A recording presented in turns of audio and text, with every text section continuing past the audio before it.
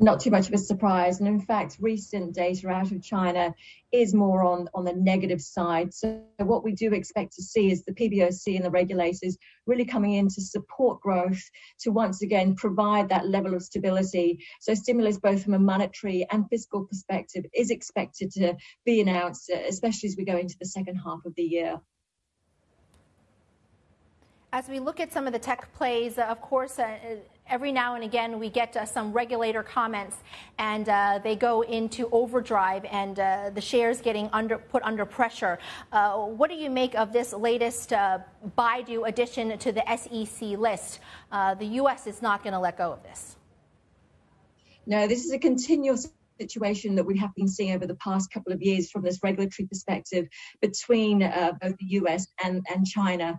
So when we look at the fundamentals, I mean, that's, that's obviously key, and it's sentiment that's really driving these stocks. So last year, with all the regulatory news flow, in fact, even in, uh, towards the end of, of 2020, that headline news flow was a bit of a wake up call for investors again to realize that policy direction and implementation does impact underlying earnings we do think that the subsequent news flow that we have seen and are likely to see will just be again focusing on on sort of about you know really, really delving into that top down news flow and providing more information. But as you mentioned, until we get more clarity around the situation, it's likely that we're going to see some choppiness with these type, type of names.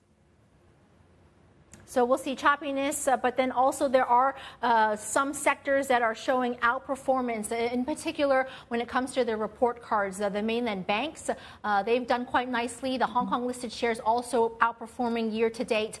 Uh, the mainland oil plays also looking very, very good and strong. Are there some pockets of strength there? What are you seeing?